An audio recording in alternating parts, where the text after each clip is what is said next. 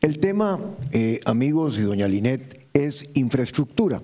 Y ciertamente que Costa Rica necesita de mucho mejor infraestructura para ser un país competitivo y para apoyarnos en las metas de crecimiento que estoy absolutamente convencido que podemos lograr en este tema, hay que tener claridad también que la situación fiscal que heredamos no da para que sea con recursos del gobierno, amigas y amigos, que podamos levantar esa infraestructura.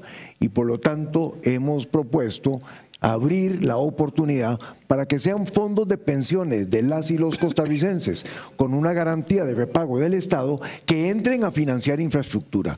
Eso nos da los recursos que necesitamos por un lado, pero por el otro lado le mejora el rendimiento financiero, las ganancias a los fondos de pensiones que en todo momento queremos defender. Y no hablemos solamente de infraestructura típica, hablemos de conectividad, porque esa es la nueva infraestructura que necesitamos para salud, educación, trabajo, gobierno eficiente. Ahí es en donde necesitamos centrar nuestra atención.